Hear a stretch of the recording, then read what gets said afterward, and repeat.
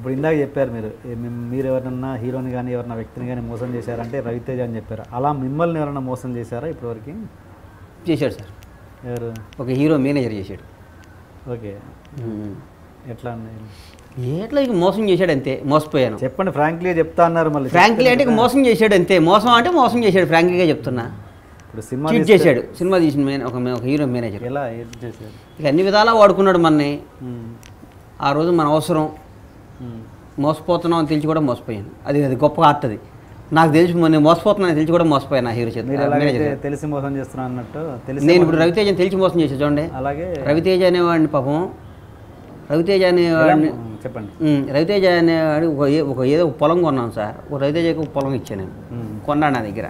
పాపం ఆయన పొ- ప్రేమగా కొనుక్కున్నాడు పొలం. ఆ పొలాన్ని కింద నాది ఒక ఇంకో ముప్పై ఎకరాల పొలం ఉంది. ముప్పై ఎకరాలు అమ్మాలంటే ఆడ ఇరవై ఐదు ఎకరాలు ఇస్తేనే అమ్ముతా అన్నాడు. ఓకే. ముప్పై నాది నలభై ఉంది. అప్పుడు రవితేజ దగ్గర పోయి అబద్ధం చెప్పి అన్న నీదేదో గవర్నమెంట్ వాళ్ళు అక్విజేషన్ చేస్తున్నారు అమ్మేద్దామని ఉమ్, నమ్మాడు పాపం. ఓకే. నమ్మి ఇచ్చాడు. చాలా బాధపడ్డారు అసలు. పాపం ఇటు దేవుడు ఇటు చాలా మంచివాడే రవితేజ సినిమా తీసి ఐదు కోట్ల డబ్బులు మిగిలినాయి మనకి.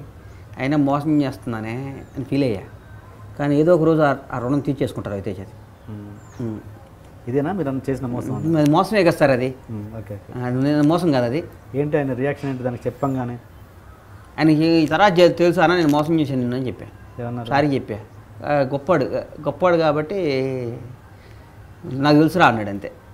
నన్ను ఎరా అంటాడు నాకు తెలుసురా అన్నాడు. ఓకే. మొత్తానికి ఏంటి మోసం అని చెప్పన్నారు చెప్పేశారు. ఉమ్, చెప్పాలంటే రవితేజ పాపం. నిజాయితీ పడు కదా సార్ పాపం. ఆయన ఆయనతో ఉన్న మీకు రిలేషన్ ఏంటి? ఆయన క్యారెక్టర్ గురించి ఆయన మీ రిలేషన్ చెప్పండి. అంటే కష్టపడి పైకి వచ్చిన 100%. చిరంజీవి తర్వాత. Hundred percent. Hundred percent. ఈ రోజుకి కూడా డబ్బు విలువ తెలుసు. నాకు డబ్బుని ఇష్టపడేవాళ్ళు అంటే నాకు మోజు సార్ బాగా. డబ్బుని రెస్పెక్ట్ ఇచ్చేవాళ్ళు అంటే ఒక ఫ్యామిలీ ఒక భార్య ఒక పిల్లలు ఒక అమ్మ ఒక నాయన వీళ్ళందరూ ఇట్లా ప్రేమగా చూసేవాళ్ళు అంటే నాకు ఇష్టం బాగా. అట్లా ఇండస్ట్రీలో చాలా తక్కువ మంది ఉండేది. ఒక ఫ్యామిలీ అంటే ఒక రవితేజ కది విపరీతంగా ఉంటాయి. వాళ్ళ అమ్మ నాన్నని వాళ్ళ ఫ్యామిలీని బాగా చూస్తాడు. మేము ఆర్భాటాలు పోం సార్. మేము ఇన్ని చేసినా మేము ఆర్భాటాలు పోయి మా ఫ్యామిలీని బయటకు తీసి అట్లా చెయ్యం మేము. మా స్టైల్ అది. బేసిక్గా మా స్టైల్ అది. మేము ఎక్కడికి మా ఫ్యామిలీతో మేము బయటికి రాం. ఓకే. మా పక్క పల్లెటూరు కల్చర్ మాది ఇంకా. అంటే అలా వెళ్ళే వాళ్ళు తప్పనా మీ ఉద్దేశం? తప్పని నేను అన్ను మాకు అలవాటు రాలా ఇంకా. నేను తప్పని నేను ఎందుకంటా సార్? మేము అంత పెరగలేదు అనుకుంటా నేను. మాది ఇంకా అంత స్థాయి కాదేమో అని ఫీల్ అవుతాను నేను. నేను ఒకటి తప్పు ఒప్పులు చెప్తాను నేనే ఉంటాను సార్ బండ్ల గణేష్ మా వాళ్ళు అడిగితే. అది. Ravi Teja way of living. అదే. భద్రత. రవితేజ ఏ స్కూటర్ మీద మోటార్ సైకిల్ మీద తిరిగే రవితేజ దగ్గర నుంచి ఇలా బెంజ్ కార్లో తిరిగే మో రవితేజ దాకా. ఇలా వందల కోట్లకు అధిపతి అయిన రవితేజ దాకా నాకు తెలుసు. ఇద్దరం కలిసి మెస్లో భోజనం చేసిన రవితేజ దగ్గర నుంచి తెలుసు. ఒక మంచి ఇన్సిడెంట్ని షేర్ చేసుకోండి మీ ఇద్దరు మీ మీ- మీ హైదరాబాద్ నన్ను ముందు నుంచి మేము చిన్న చిన్న వేషాలు వేసేటప్పుడు మనసు ఇచ్చి చూడు మనసులో మాట. సింధూరం సినిమాలో కూడా నేను నాలుగు నాలుగు రోజుల పోయి తర్వాత వచ్చాను అనుకో షూటింగ్కి వెళ్ళి. ఎన్ని తెలుసు నాకు? ఎందుకు వచ్చారు? అప్పుడు ఇది ఈవి సత్యనారాయణ గారి సినిమా వేషం వచ్చింది. నేను ప్రేమిస్తున్నాను సినిమా. ఈవిగా దాంట్లో పెద్ద వేషం లైఫ్ వస్తుందని వచ్చాను. ఏది? J D Chakravarthy cinema? J D Chakravarthy. నేను వచ్చేస్తాను నేను ప్రేమిస్తున్నాను ప్రేమిస్తాను ఓకే ఓకే. ఓకే. ఏం చెప్పండి? ఇన్సిడెంట్ చెప్పండి. రవితేజ గారు మీ మధ్య ఒక మంచి ఇన్సిడెంట్ చెప్పండి. గుర్తు చాలా ఉన్నాయి సార్ నాకు ఒక్కటి చెప్పండి. రవన్న పది రూపాయలు జాగ్రత్తగా పెట్టుకునేవాడు. ఇన్సిడెంట్ పది చాలా ఇక బ్రదర్స్లా కలిసి తిరిగేవాళ్ళం కదా కొంచెం.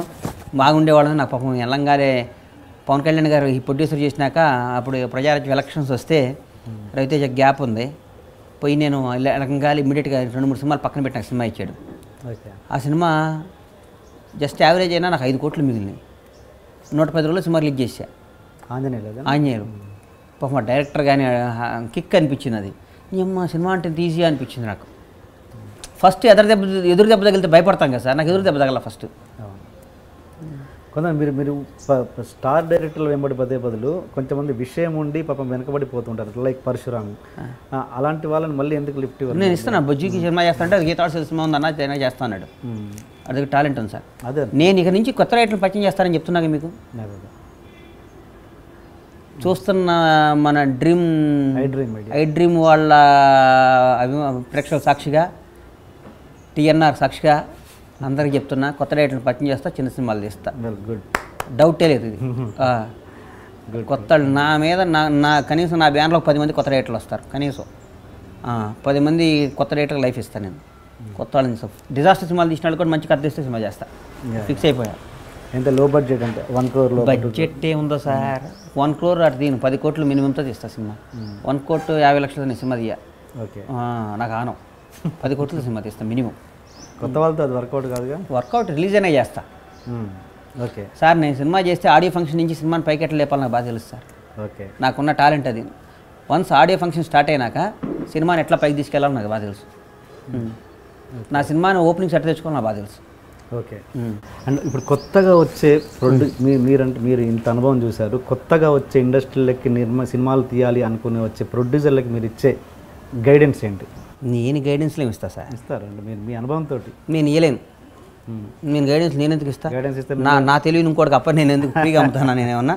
ఇది ఫ్రాంక్లీ ఇది ఫ్రాంక్లీ ఇది ఫ్రాంక్లీ ఆన్సర్ ఆ, నేను ఎందుకు చెప్తా? నా నా బ్రెయిన్ నేను హీరోలు ఎట్ట కొట్టుకోవాలి హీరోలు ఎట్ట సెట్ చేయాలి? నేను ఆలోచిస్తా కానీ? మరి ఇట పోయి ఇట చేసుకోవడం హీరోలు నేను చెప్తా? నా వ్యాపారం సీక్రెట్ నేను ఇంకోటికి ఎందుకు చెప్తా? నేను చెప్పను అట్లా నచ్చారు